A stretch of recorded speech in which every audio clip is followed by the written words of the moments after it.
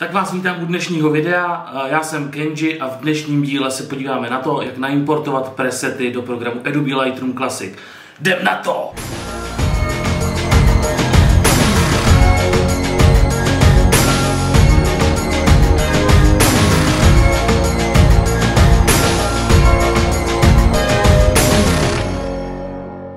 Takže v první řadě potřebujeme otevřít Adobe Lightroom Classic. Když ho otevřeme, uh, vidíme takzvanou knihovnu. Na importovat presety potřebujeme v záložce Develop, takže přepneme do záložky Develop. A tady vidíme paletku s presetama. Klikneme jednoduše na plusko a dáme Import Presets.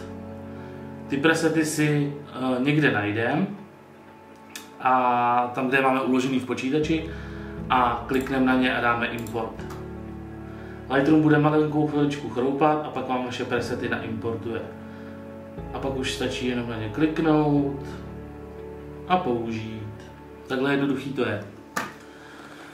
Když budete chtít presety vyexportovat, tak stačí kliknout pravým a dát export group, případně můžete exportovat uh, jednotlivý preset Exportuje vám to rovnou do zipu, který můžete vzít, nahrát na flešku a naimportovat zase stejným způsobem do jiného počítače. A takhle jednoduchý to je. Takže se na vás těším zase u dalšího videa.